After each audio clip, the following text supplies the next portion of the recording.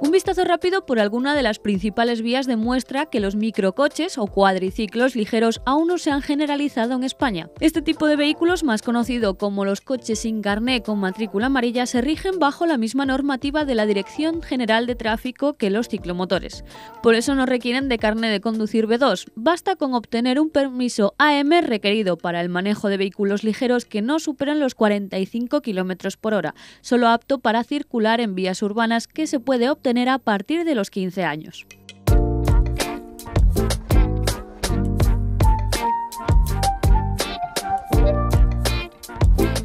Su reducido tamaño, se presentan como una alternativa en ciernes para el renting en movilidad profesional, aunque actualmente las cifras en este mercado son testimoniales, reconoce la Asociación Española de Renting de Vehículos, que, si bien no ofrecen datos concretos, sí registra el parque de motocicletas y ciclomotores, cuyo aumento ha sido en un 585% de enero a septiembre de este año respecto al mismo periodo del año anterior. En términos absolutos, se ha pasado de los 103 a las 706 unidades.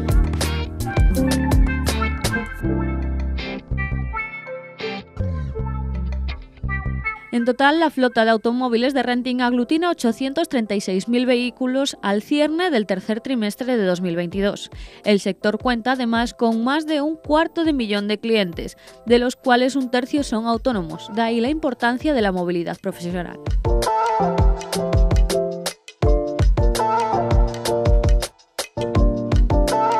Otro de los puntos de inflexión clave para este cambio de paradigma de los cuadriciclos llegará previsiblemente este año con un nuevo permiso de conducción, el B1, como parte de la estrategia de seguridad vial de 2030 anunciada el pasado junio por parte de la DGT.